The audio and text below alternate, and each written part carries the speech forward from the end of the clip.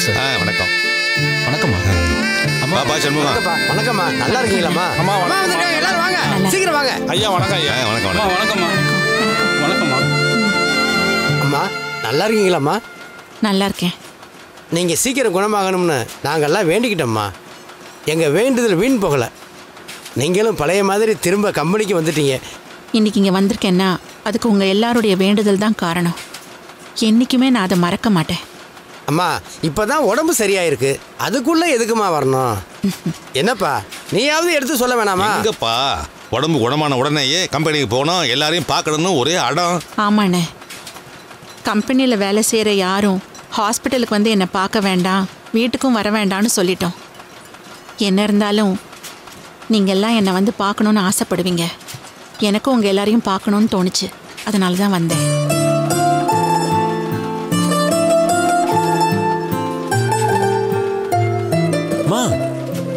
நீங்க ஏமா இங்க வந்தீங்க? ஏன்பா நான் வரக்கூடாதா? அம்மா நீங்க எப்ப வேணாலும் வரலாமா? உங்களுக்கு உடம்பு இன்னும் கியூர் ஆகலாமா?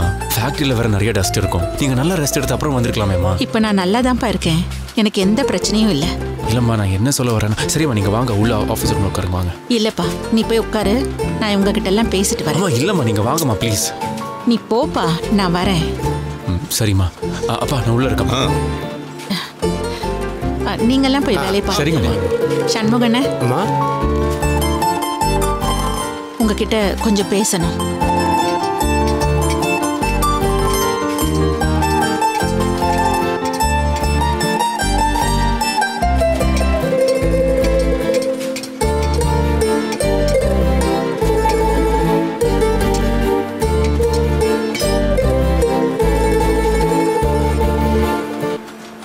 வேலையெல்லாம் எப்படி நான் போகுது? ஆ ஏதோ போகுதும்மா.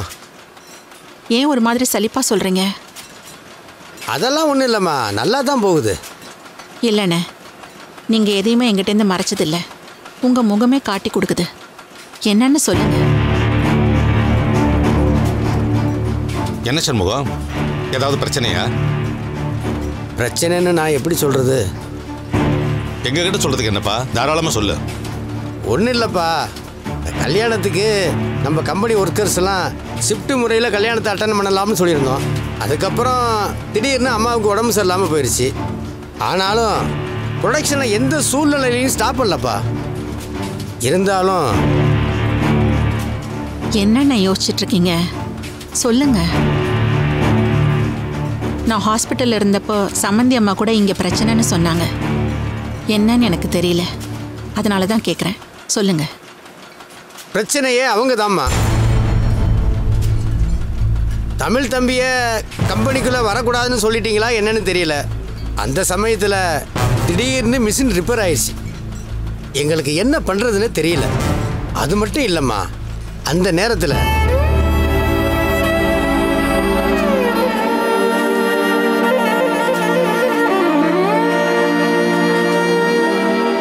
வாங்குற காசுக்கு விசுவாசமா இருக்கணும். உங்ககிட்ட அது இல்ல. உங்களை எல்லாம் வேற மாதிரி தான் டீல் பண்ணணும். நீங்க மட்டும் இப்ப வேலைக்கு போகல உங்க எல்லாரையும் டெர்மினேட் பண்ணிட்டு நார்த் இந்தியால இருந்து ஆளை கூட்டிட்டு வந்து இங்க ப்ரொடக்ஷன் ஆரம்பிக்க முடியும். ஹம், உங்க அளவுக்கு அவங்களுக்கு சம்பளமும் கொடுக்க வேண்டியதில்ல. கம்பெனிக்கு லாபம் தான் ஆனா உங்களுக்கு தான் பர்மனண்டா வேலை போயிடும். கோதை இண்டஸ்ட்ரீஸில் ஒரு பிரச்சனை. அதனால கம்பெனி இழுத்து மூடிட்டாங்க அப்படின்ற பேருங்களை வாங்கி தர போறீங்களா? எங்கள் அம்மா எப்பவுமே இந்த கம்பெனி தான் அவங்க குடும்பம்னே சொல்லுவாங்க. இந்த குடும்பத்தில் நீங்கள் எல்லாருமே இருக்கீங்க? நானும் உங்களில் ஒருத்தன் தான். நானும் ஒரு தொழிலாளி தான். ஒரு சக தொழிலாளியா? உங்க எல்லார் காலில் விழுந்து நான் மன்னிப்பு கேட்டுக்கிறேன். தயவு செஞ்சு வேலையை மட்டும் நிறுத்திடாதீங்க. யார் வந்தாலும் சரி வராட்டியும் சரி இந்த கம்பெனி நடக்கும் தம்பி.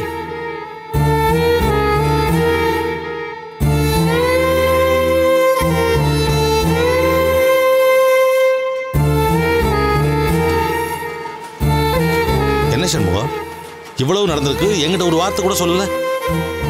சொல்லலைன்னா என் மேலே கோச்சிப்பீங்கன்னு தெரியுமா? அதை நான் சொல்லலாம் தான் நினச்சிக்கிட்டு இருந்தேன். ஆனால் தமிழ் தம்பி தான் சொல்லக்கூடாது ஸ்ட்ரிக்டாக சொல்லிருச்சு.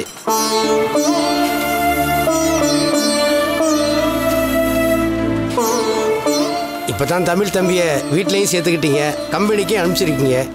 இதுக்கப்புறம் ஒரு பிரச்சனையும் வராதுமா?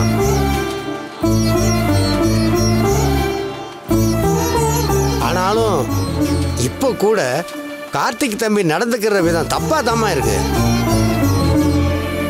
அதையும் தமிழ் தம்பி சொல்ல வேணாம்னு சொல்லிட்டாரு.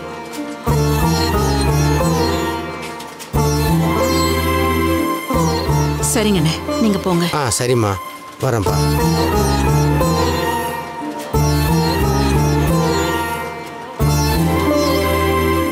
என்னம்மா? என்ன யோசிக்கிற?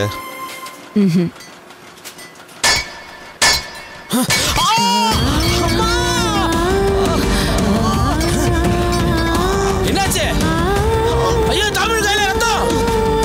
ஏன் பார்த்து வேலை செய்ய மாட்டியா? வாப்பா வாப்பா வாப்பா. டேய் யாராங்க போய் ஃபர்ஸ்ட் எய்ட் எடுத்துட்டு வாங்கடா. வாப்பா வாப்பா நீ வாப்பா. என்னப்பா இது? டேய் ஃபர்ஸ்ட் எய்ட் எடுங்கடா என்ன நினைச்சிட்டு இருக்கோம் மனசுல? இதான் வேலை பார்க்குற லட்சணமா? கொஞ்சமாவது அறிவு இருக்கா இல்லையா? பொறுப்பு இருக்கணும்.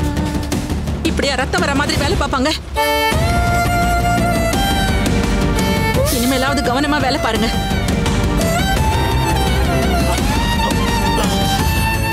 இப்போ ஓடி பரவாயில்லையாப்பா? எவ்வளவு நாளா வேலை பார்க்கறேன். கொஞ்சம் கூட புத்தி வேணாம். எல்லாத்துலயும் பொறுப்பா இருக்கணும். பொறுப்பு இல்லாம நடந்துக்கிட்டா இப்படிதான் ஏன்பா பார்த்து ஒழுங்கா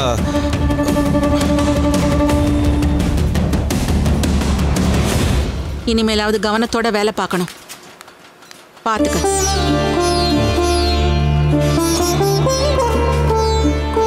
என்ன அப்பா அம்மாவுக்கு ஏன் இப்படி ஓவரா பண்றாங்க?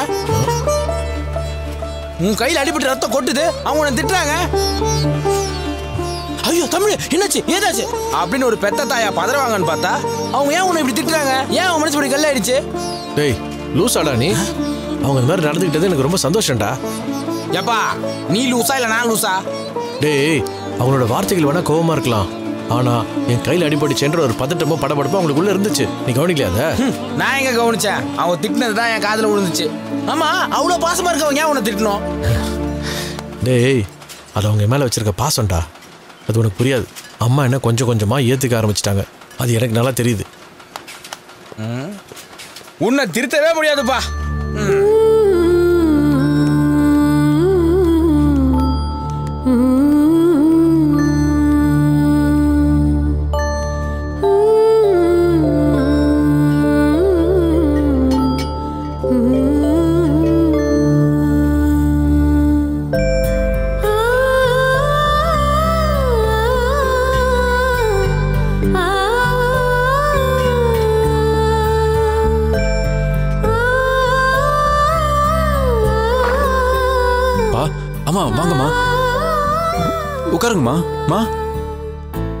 இல்ல வேண்டாம். வாங்க போலாம். வாங்க. இல்லைம்மா.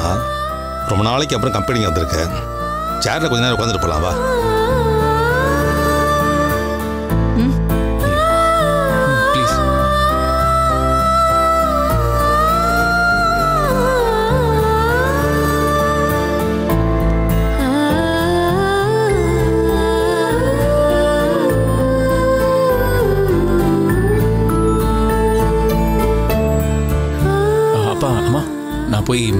பார்த்துட்டு வந்துடுறேன். போயிட்டு வா.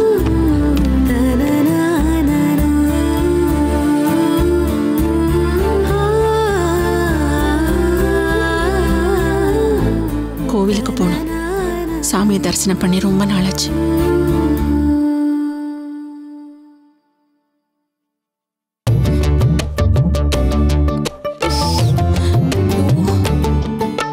எத்தனை தடவை போட்டாலும் மனசுல நிக்க மாட்டேங்குது. சரஸ்வதி.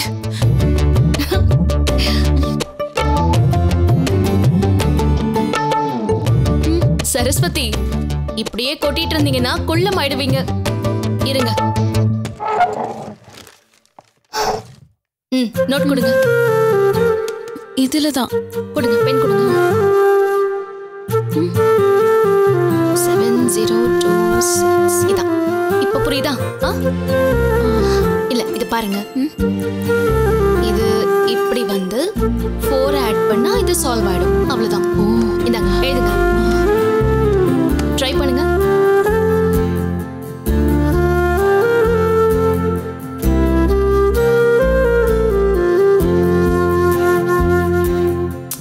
சரஸ்வதி இது அப்படி இல்லை.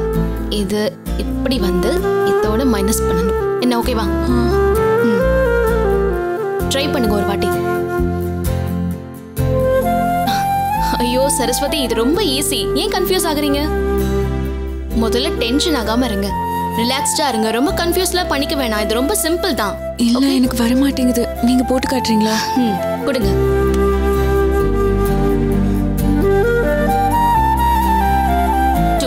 ம் இப்படி போடுங்க. ம்.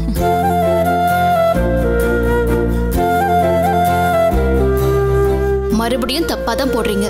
இங்க கொடுங்க. இங்க வந்து இதுதான் போடணும். So this is equal to this hmm அவ்வளோதான் சரியா? வசு எப்படி உங்களால இவ்ளோ பொறுமையா இருக்க முடியுது? ஏன் இல்ல பொதுவா எனக்கு சொல்லி கொடுக்கறவங்க எல்லாரும் பொறுமையா எழுந்துருவாங்க. நங்க நங்கன்னு ஏன் தலையிலே கொட்ட ஆரம்பிச்சிருவாங்க. சரஸ்வதி இது ரொம்ப சின்ன விஷயம். இதை போய் பெருசா எடுத்துக்கிறீங்க? இல்ல வசு எல்லா விஷயத்துலயுமே நீ ரொம்ப மெச்சூர்டா இருக்க. அன்னைக்கு ஹாஸ்பிட்டல்ல நான் கார்த்தி அடிக்க கையோங்கிட்டேன் அது பார்த்ததுக்கு அப்புறமும் அதை மன்னிச்சு மறைந்து நீ என்கிட்ட சகஜமா தான் பேசுற. இதுவே தமிழ் மேல நீ அடிக்கிறதுக்கு கையோங்கி இருந்தனா நான் இவ்வளவு பெருந்தன்மையா இருந்திருப்பேனான்னு தெரியல. அதுக்கப்புறம் தமிழும் கார்த்தி சட்டையை பிடிச்சு அடிச்சிட்டாரு. இதெல்லாம் நடந்தும் எதையுமே மனசுல வச்சுக்காம எங்க ரெண்டு பேர் மேலயும் பாசத்தை காட்டுறியே. உன்னால மட்டும் எப்படி இவ்ளோ பெருந்தன்மையா இருக்க முடியுது? சரஸ்வதி நீங்க சொன்ன அந்த ரெண்டு விஷயத்துலயும் தப்பு உங்க ரெண்டு பேர் மேலயும் இல்லையே. கார்த்தி உங்களை கோவப்படுத்தினாரு. அதான் நீங்க அப்படி நடந்துக்கிட்டீங்க. இதுல உங்களை எப்படி நான் கோச்சுக்க முடியும்? இருந்தாலும் இதுக்கு ரொம்ப பெரிய மனசு வேணும். அது எல்லாருக்கும் வராது. போதும் போதும். இப்போ மேக்ஸ் சப்ஜெக்ட் பாப்போமா இதுக்கும் ரொம்ப பெரிய அறிவு வேணும். அது எனக்கு சுத்தமா கிடையாது. சரி ஓகே வாங்க.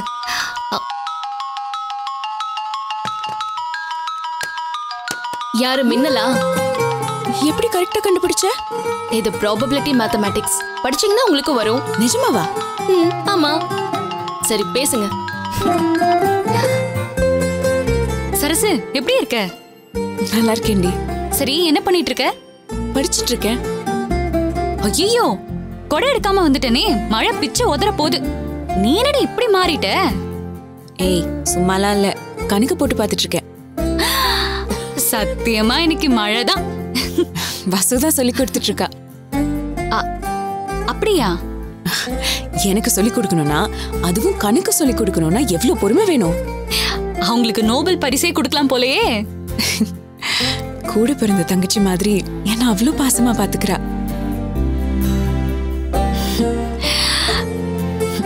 ரொம்ப சந்தோஷம்டி மின்னல் நான் ஒரு சந்தோஷமான விஷயம் சொல்லட்டா? சொல்லு.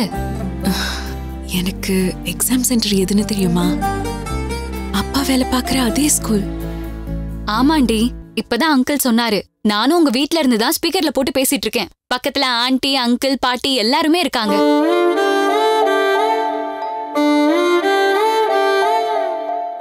இங்க எல்லாருமே உன்னை ரொம்ப மிஸ் பண்றாங்கடி. உன் கூட தான் உங்களால பேச முடியலல்ல. அதான் நீ எப்ப ஸ்கூலுக்கு வருவ உன்னை எப்ப பார்க்கலாம்னு சொல்லி ரொம்ப ஆசையா இருக்காங்க.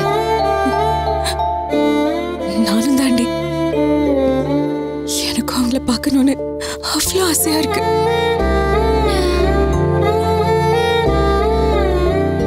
சரி சரி. நீ வருத்தப்படாத. அதான் நேர்ல பாத்துக்க போறீங்கல்ல? இப்போ உன் குரலை கேட்டதுக்கே எல்லாரும் ரொம்ப ஃபீல் பண்ணிட்டு இருக்காங்க இதுக்கப்புறமும் பேசிட்டு இருந்தோம்னா? அவங்க கண்டிப்பா அழுதுருவாங்க. நீ எக்ஸாம்க்கு நல்லா ப்ரிப்பேர் பண்ணி நல்லா எழுது சரியா? இந்த தடவை நான் கண்டிப்பா பாஸ் ஆயிடுவேன்டி அப்பா பெரியும் காப்பாத்துவேன். இதை மட்டும் அவங்க கிட்ட சொல்லிடு.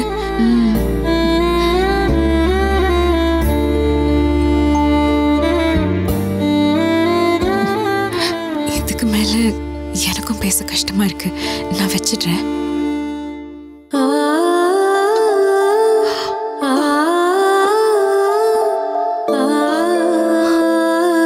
சரஸ்வதி கவலைப்படாதீங்க. எல்லாமே மாறும் எல்லாம் நல்லதா நடக்கும். சரியா? சரி வாங்க. கிளாஸ் கண்டினியூ பண்ணலாம். ம்.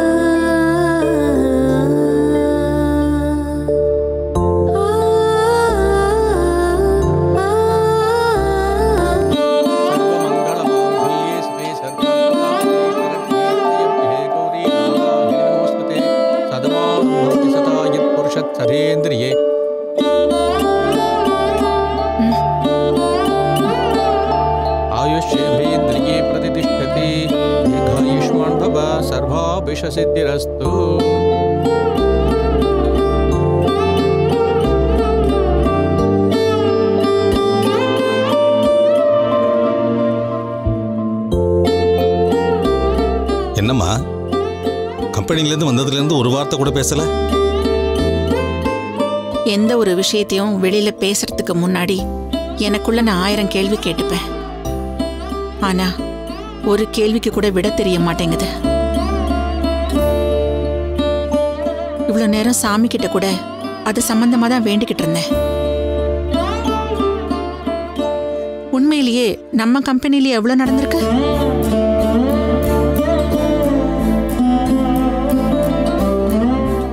என்ன நடந்ததுன்னு நான் கேட்டப்போ நீங்க சொன்னது வேறையா இருந்தது. சண்முக அண்ணன் சொன்னது வேறையா இருந்தது. இதெல்லாம் நீங்க முன்னாடியே தெரிஞ்சுக்கிறது இல்லையாங்க? ஆ அதாம்மா. நீ உடம்பு சரியில்லாமல் ஹாஸ்பிட்டல் இருந்தப்போ எனக்கு என்ன பண்ணுறது என்ன ஏதுன்னு ஒன்றுமே புரியலம்மா.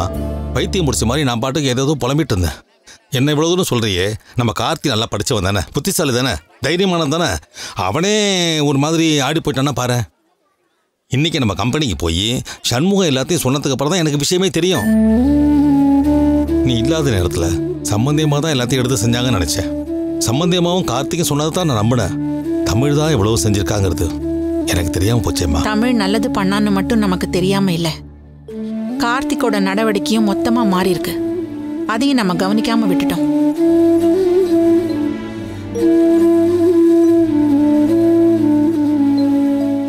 பண்ண வேலை தொழிலாளிங்களை ரொம்ப பாதிச்சிருக்கு. அந்த அளவுக்கு நாம இடம் கொடுத்துருக்க கூடாது. இவ்வளவு நடக்க விட்டுருக்க கூடாது. ஆனா இவ்வளவு நடந்தும் தமிழ் சரியா தான் இருந்திருக்கான். நீ சொல்றது கரெக்ட் தாம்மா. இப்பதாம்மா எனக்கும் புரியுது. நல்ல வேளை நாம கம்பெனிக்கு போனோம். இல்லைன்னா இதெல்லாம் தெரியாமலே போயிருக்கோம். இன்னும் என்னென்னமோ நடந்திருக்கும். எப்போ ஹாஸ்பிட்டல்ல இருந்து நான் வீட்டுக்கு வந்தேனோ அப்பல இருந்து ஏதோ ஒன்று உறுத்திக்கிட்டே இருந்தது. எங்கேயோ ஒரு இடத்துல தப்பு நடக்குதுன்னு மனசுல நெருடலாவே இருந்துச்சு. இப்போ இதுதான் பிரச்சனைன்னு தெரிஞ்சதுக்கு அப்புறம் அதை சரி பண்ணாம இருக்கிறது ரொம்ப தப்புங்க. நீங்க ஃபோன் பண்ணி தமிழையும் கார்த்திக்கையும் இங்க வர சொல்லுங்க. எதுக்குமா? இப்போ போய் அவங்கள? நீங்க வர சொல்லுங்களேன். இப்போ தானமா அவங்கள கம்பெனியில் பார்த்துட்டு வரோம். எல்லாம் ஒரு காரணமா தாங்க சொல்றேன். நீங்க வர சொல்லுங்க. சரிம்மா. நீ சொன்னா அதில் ஒரு அர்த்தம் இருக்கும்.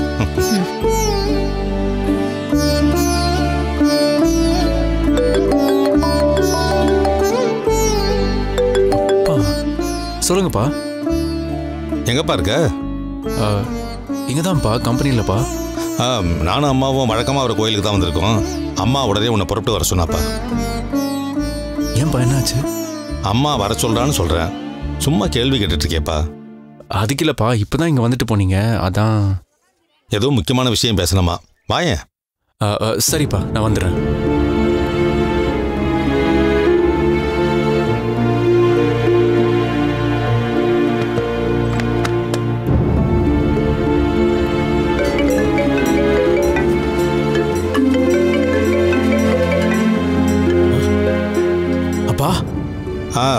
நானும் அம்மாவும் வழக்கமாக அவர் கோயிலுக்கு தான் வந்திருக்கோம்ப்பா. அம்மா ஏதோ உங்கள்கிட்ட முக்கியமான விஷயம் பேசணும்னு சொன்னாங்க. உடனே புறப்பட்டு வா. ஆ சரிப்பா.